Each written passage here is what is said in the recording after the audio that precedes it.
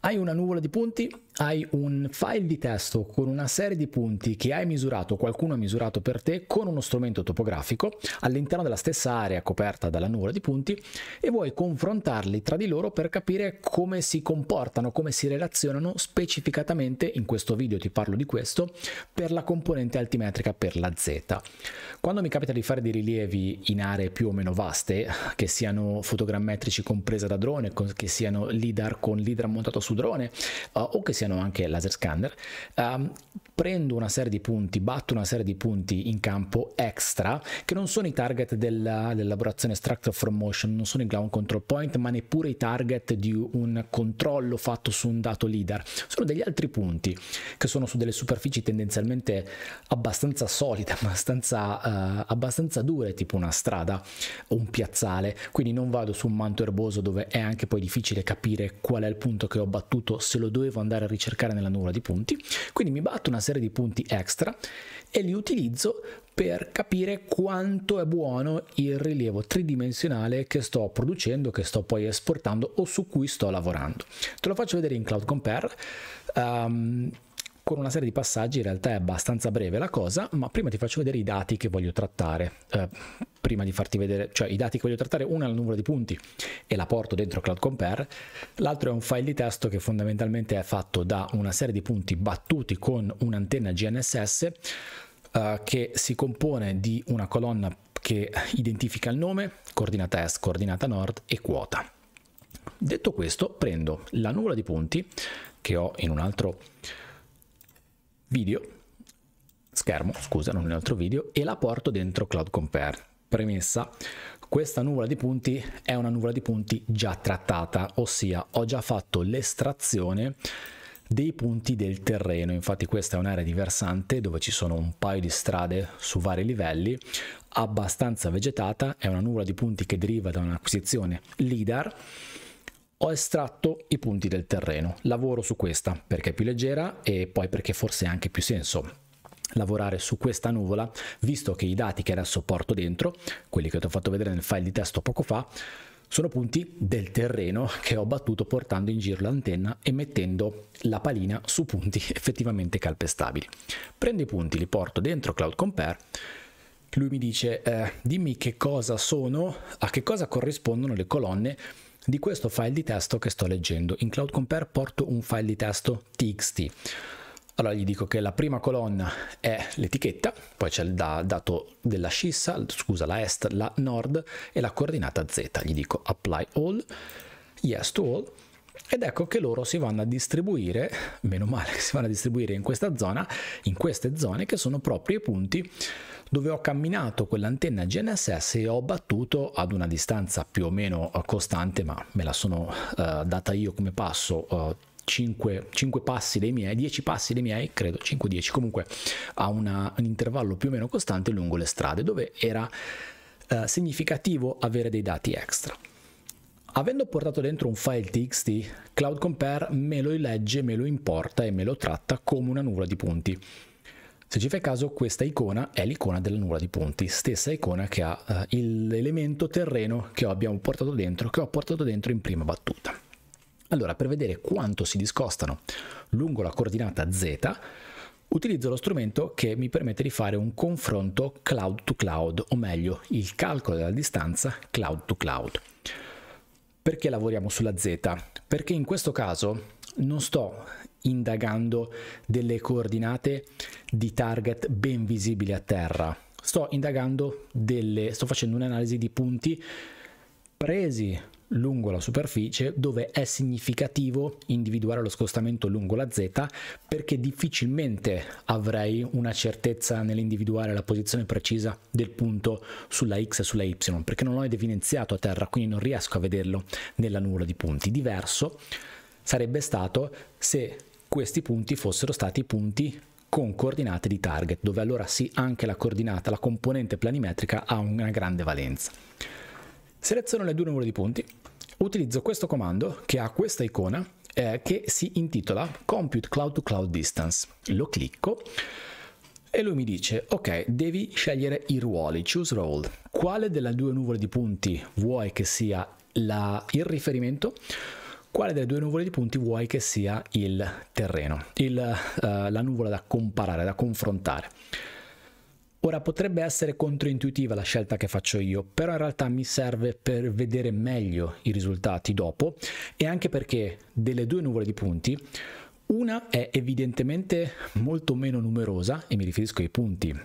che si chiamano punti strada, l'altra è molto più numerosa. Quindi utilizzo come nuvola di riferimento la nuvola di punti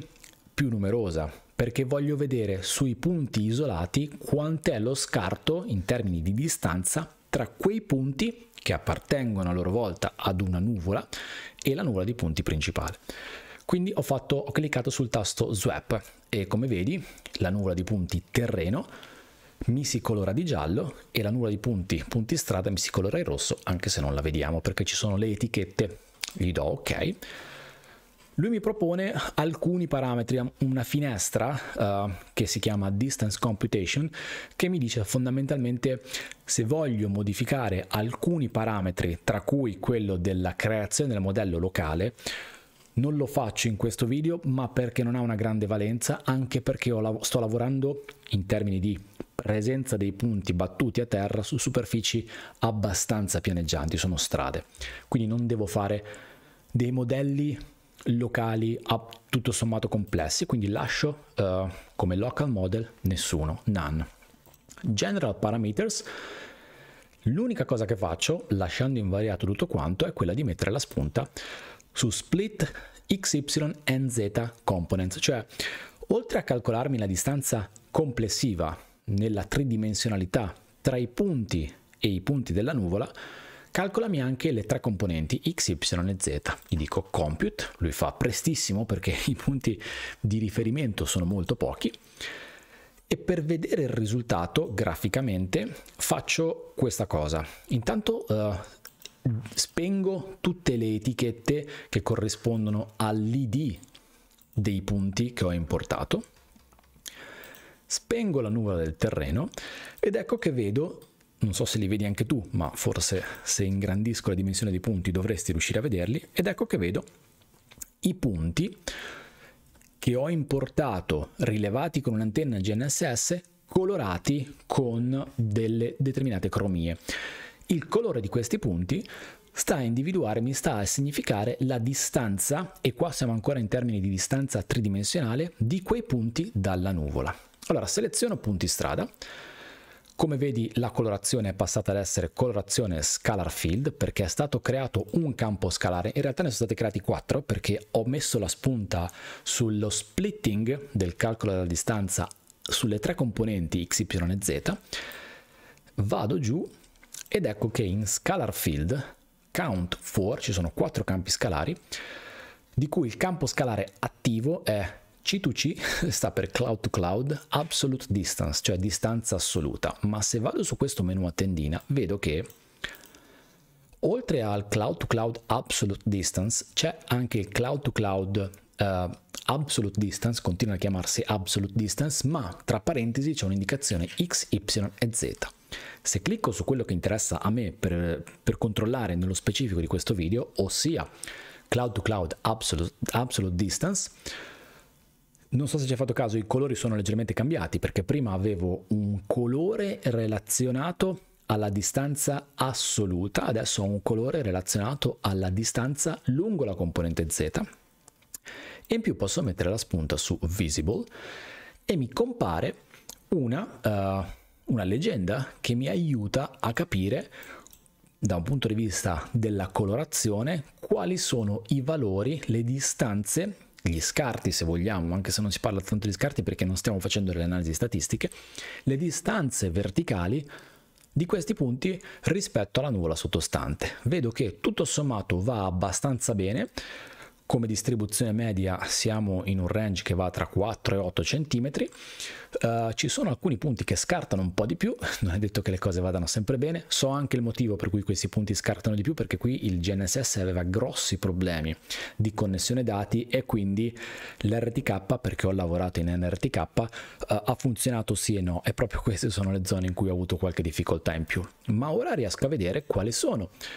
le, uh, gli scostamenti da un punto di vista dei colori dei punti rispetto alla nuvola. Posso andare avanti, posso fare qualcosa di più,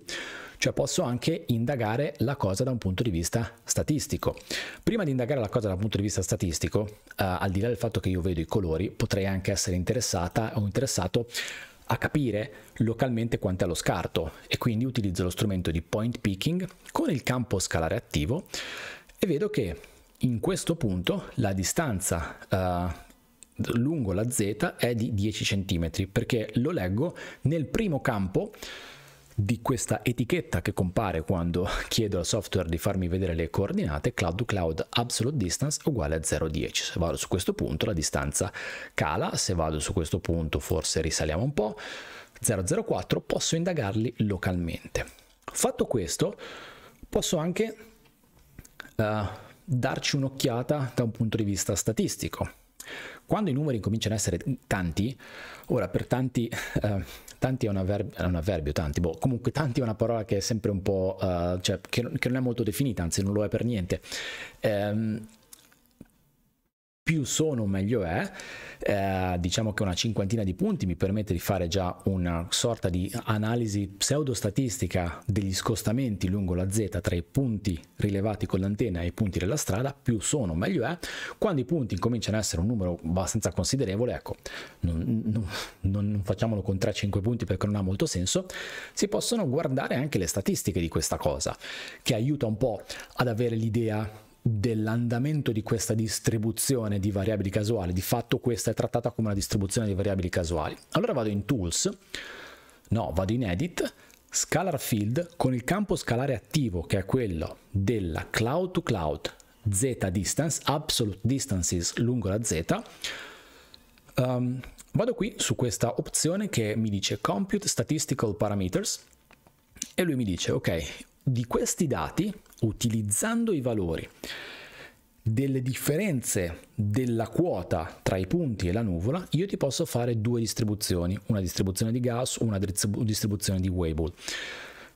Trattandosi di un'analisi di variabili uh, casuali, la distribuzione di Gauss tutto sommato è forse quella più indicata. Poi io non, non entro tanto nel, nel, merito della statistica, anche perché non è che, che la mastichi molto però la distribuzione di Gauss è quella che mi permette di capire come si distribuiscono i parametri eh, di una variabile casuale proprio eh, tipica dell'ambito della misura. Il grafico che mi si propone è il classico istogramma della distribuzione della variabile dove oltre alla distribuzione dei, dei dati, quindi qua ci sono i valori e qua ci sono lungo la x ci sono i valori, della distanza lungo la z e lungo la y ci sono il numero uh, di elementi che si associano a quel range di valore o anche un andamento uh, grafico. E mi ritorna molto bene il fatto che sia una sorta di curva di, curva di Gauss, sorta di curva di Gauss, è una distribuzione di Gauss e questa è una curva di Gauss, comunque una distribuzione a campana dove il valore medio è di 0,07, quindi valore medio del, delle differenze di quota tra i miei punti, la numero di punti è 007, lo scala, la deviazione standard è 006 e sono state individuate 7 classi. Questo, uh, questa cosa qua io la posso anche esportare come CSV se voglio oppure come immagine, quindi farò un'esportazione di questo per fare eventualmente delle altre analisi, soprattutto col file CSV, eh, in altri software che mi permettono di trattare questi dati nel modo in cui preferisco, quindi uscendo dal, dall'ambito di Cloud Compare. In questo modo siamo riusciti a capire qual è lo scarto sia locale tra un punto misurato con uno strumento topografico e una nuvola di punti, ma sia uno scarto distribuito su un certo numero di punti, che sono tutti i numeri che ho rilevato in campo, relativamente alla nuvola di punti, per capire quanto è solido il dato che sto producendo in output, uno rispetto all'altro o l'altro rispetto al precedente. E io lo uso tanto, ti ripeto, non si tratta di lavorare con dei target perché stiamo lavorando soltanto sulla componente Z. Spero che possa esserti utile per, per i tuoi rilievi, per, uh, per indagarli ancora un po' di più nel momento in cui devi produrre un output e quindi vuoi essere sicura o sicuro di quello che stai producendo. Grazie per aver visto questo video, ti do l'appuntamento prossimo, ti saluto fortissimo, ciao!